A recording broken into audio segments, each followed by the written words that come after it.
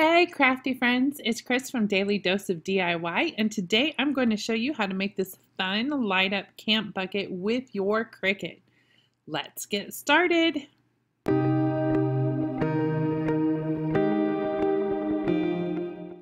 Okay, let's start with getting the SVG file. I will link this in the description down below. I keep all of my free SVG files in my um, resource library on my blog.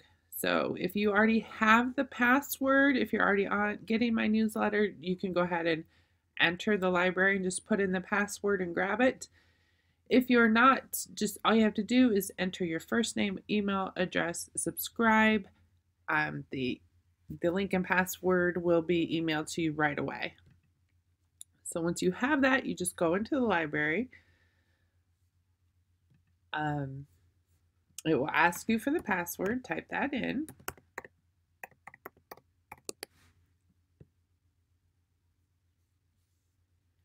And then it will bring you into the library where you can see SVG files. They're in alphabetical order. So we're going to go down to the Camp Bucket Stars SVG.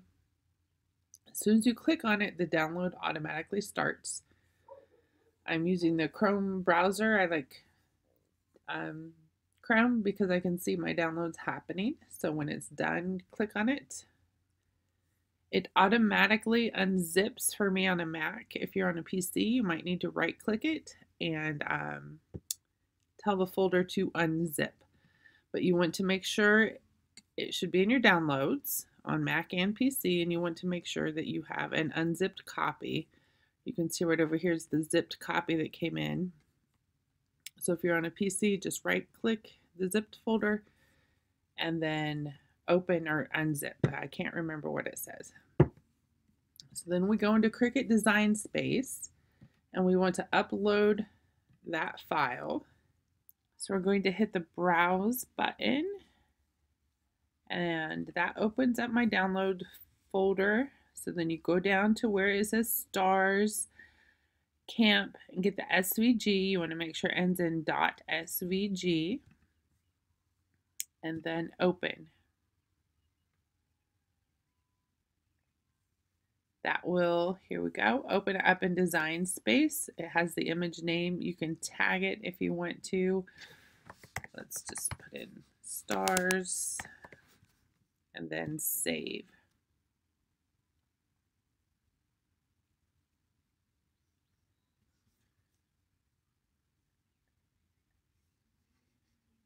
Then once it the upload completes, select it over here and then come down and insert the image and then you're in design space. I have it already sized about 8 by 8 which is the size I used for my bucket but of course you can make it smaller you can make it bigger. You can come over here and hit the ungroup button move these elements around. If you don't like it delete it move it however you want. And then you just need to come over here and hit text and then put in your last name.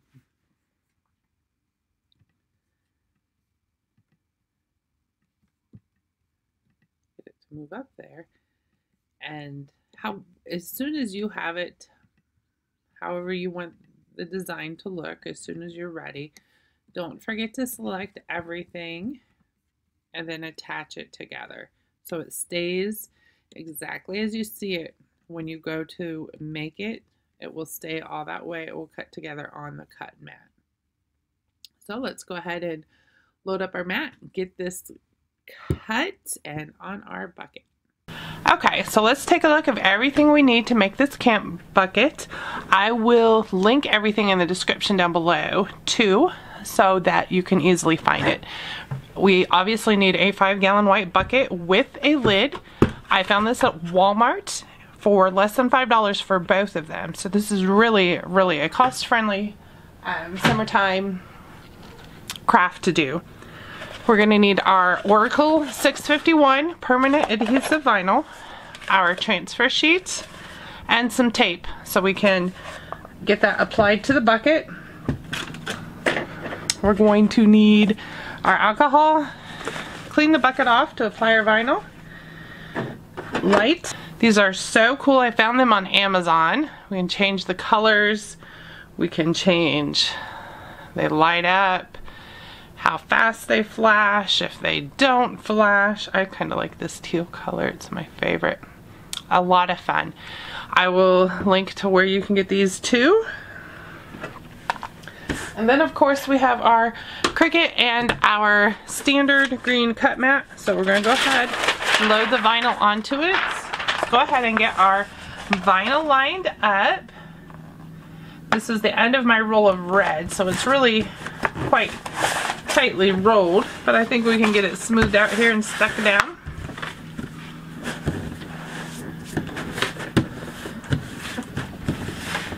My Cricut is on and set to vinyl, so we're going to go ahead get it in there. Load the mats. And click the start button.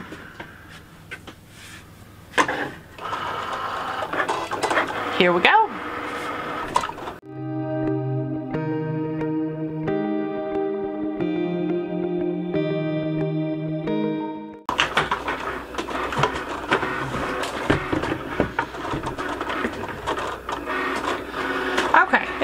Like this is about done cutting, so we're gonna go ahead and get our bucket clean. I'm just using regular alcohol here and a paper towel. We want to make sure it's got all the grease and um, finger oils and all that kind of stuff off the bucket. We don't want any dirt or anything like that on there so our vinyl will stick to it. Let's see some yucky stuff up here.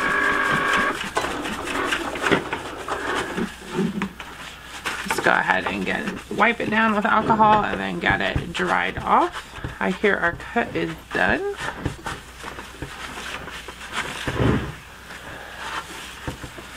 Okay, that should be good for the bucket. We'll go ahead and stick it back over here. It's ready to go. Let's unload our mat. Looks like it cut everything good. A couple of those little stars I might have lost. Oh, there's one.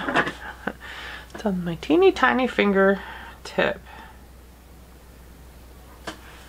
But you know what? We can go ahead and stick it on our bucket. Maybe it fell off. It can just be in a random spot over there. Okay, so I'm going to get this off the mat.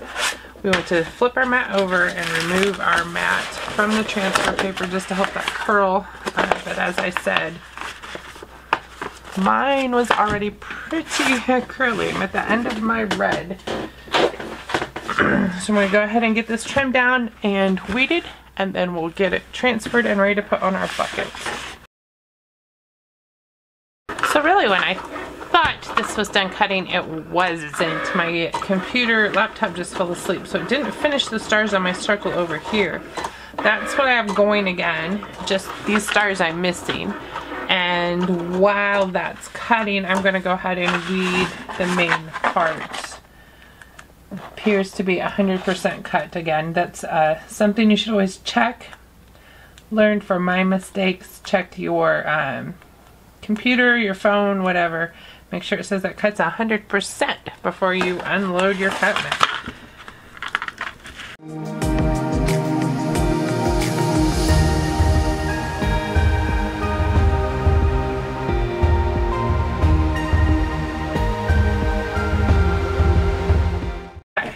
Some tiny, tiny little stars. You could save some of them, decorate your fingernails for the holiday too. Okay, so here's my main cut. Here's the four stars we're missing. We're gonna go ahead and try and get this all on one transfer sheet. And cut away some of this excess. So I guess now you can see how to fix a screw.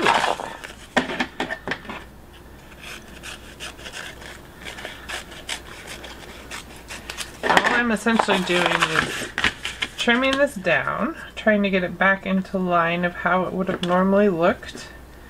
And then we're going to tape it into place. Okay, this should be good for my temporary hold. All we need to do is lift that up, right? Okay, are, you, are we ready to see if this is going to work? So to transfer, we're going to take our transfer paper. I'm going to use my arm to hold this down so it doesn't go anywhere. I like to get my transfer paper started. You know what I forgot to grab even? It's my burnishing tool. Is there one in here? Nope. Pretty sure I left it in my travel bag. Okay, we're gonna get this transfer paper and, and I'm just using regular contact paper guys. I think it works the best for me. It's um, cheaper than craft brand. Any crafty transfer paper, it's usually cheaper. It's not so sticky I can't get the stuff off. I'm going to peel back a section and then just kind of fold back the backing to it.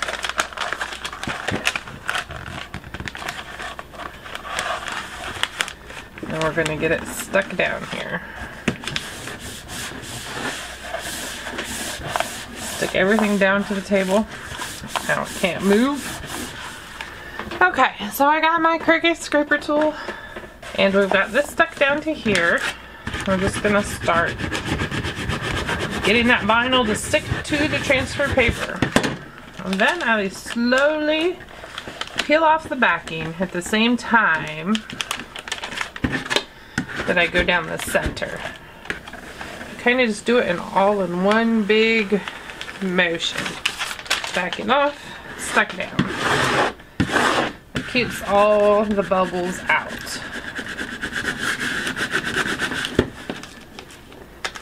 Lost a piece of my tape here, but I don't think we're going to need it.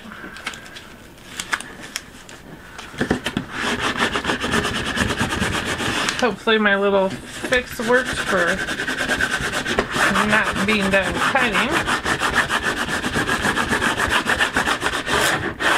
Alright, let's see if this is stuck.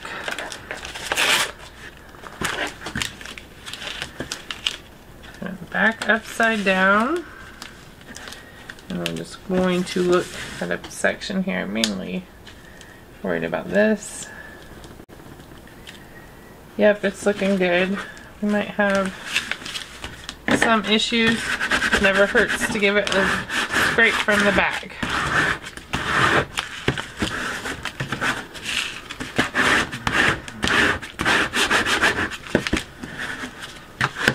Okay, I think we are ready to get it on our buckets. We're just going to get it right side up. Going to kind of line it up. What do you think? That look good? Straight enough? Pretty even from top to bottom.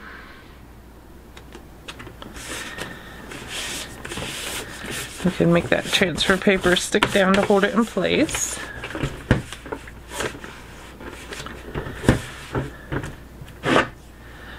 And I'm going to take my yellow tape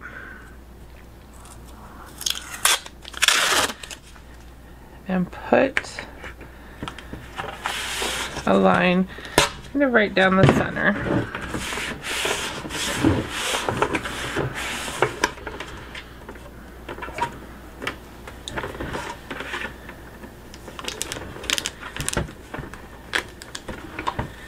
And we're going to lift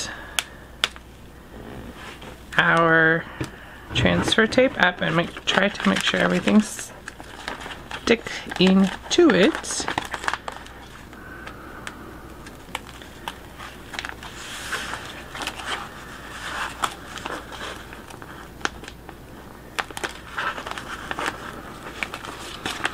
So sometimes what we go through with transferring vinyl. It's not always easiest thing.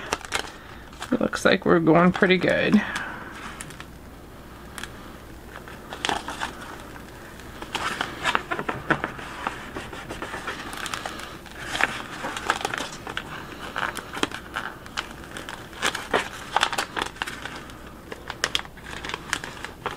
And we're going to go until the tape stops us. What these two just don't want to stick. Get some fingernail in there and see if that helps. Nope.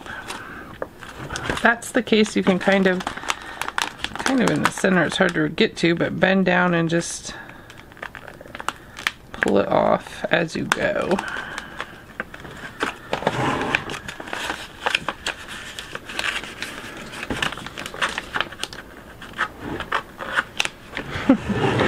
To make this so you can still see it too.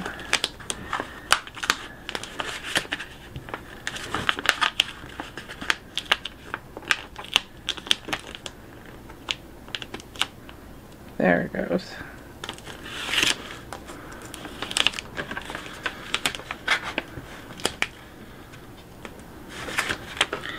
And that part of the star. So I think this is close enough.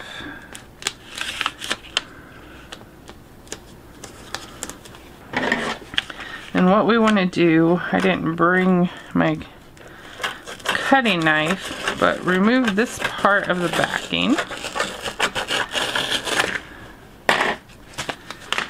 I'm going to try to get it flipped back around here to straight. And get my scraper again.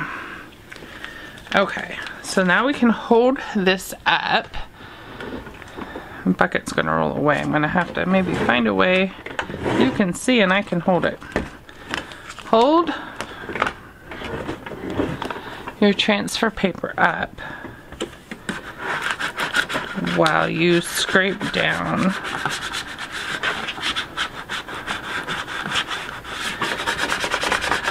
with your scraper.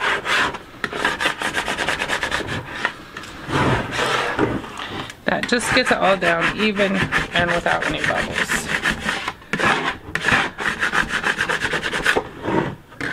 We can take this tape off the center. This is called the hinge method, by the way. This piece of tape down the center makes a little hinge so you can take one side off at a time and we don't have to worry about it getting stuck and bubbles in it. So now we can just peel off the rest of this backing slowly. Some parts don't want to stick. This is where it's a little bit easier to just reach in and grab it with your fingernail. Make sure it's sticking to the transfer paper.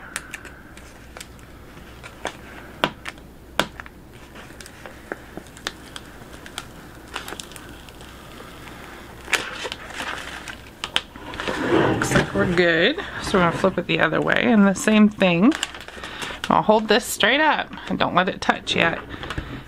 You only want what to touch what you make touch with your scraper. So go ahead and scrape it down.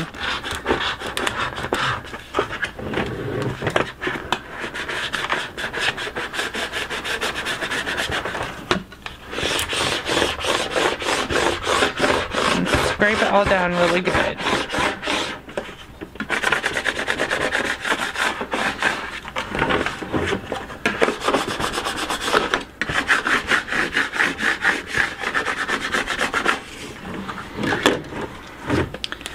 Then we can peel off our transfer paper slowly. Make sure everything sticks to the bucket.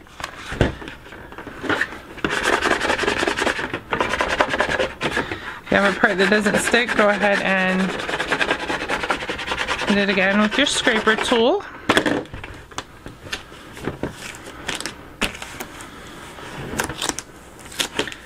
I find if you do it this way too, just kind of pull it across versus lift. If you pull it across this way, tends, tends to stay down a lot better.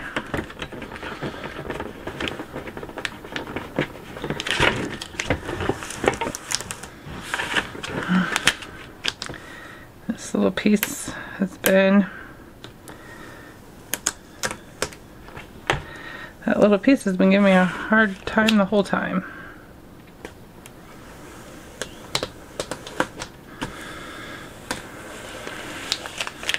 But there we go. Minus this little yellow piece of tape.